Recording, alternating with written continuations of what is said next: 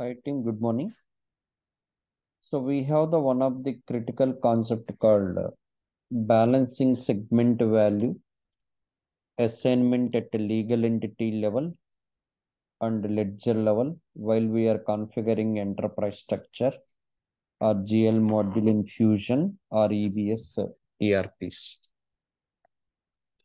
I'm implementing like uh, enterprise structure, general ledger, legal entity, business unit, under business unit subledger uh, modules like AP, AR, procurement.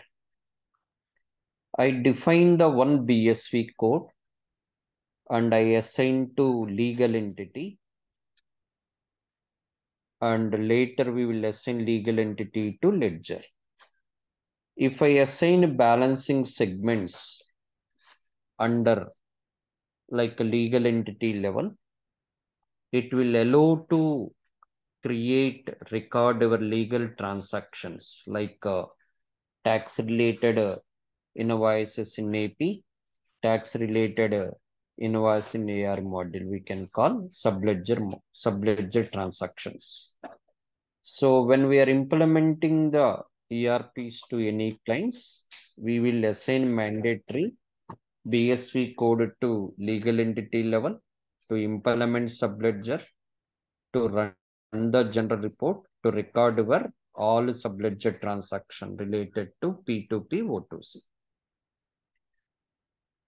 another concept we have like uh, how to assign balancing segment values to ledger level instead of the legal entity.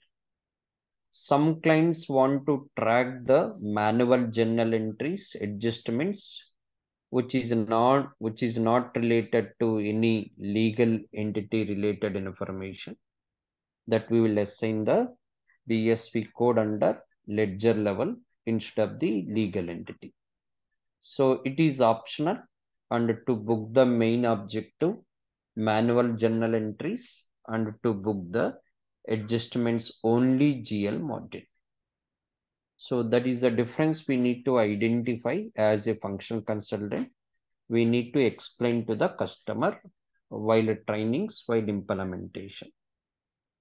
If we assign the balancing segment value at legal entity level, that legal entity assigned to primary ledger, then only that company code BSV code will be displayed while creating the key setups in uh, APAR, AP like a common option for payable procurement option, uh, invoice option, payment option, and coming to here, we can see the receivable system option key setup. So we need to understand this importance of the balancing segment value assignment assign uh, targeted to legal entity or ledger level in implementation time.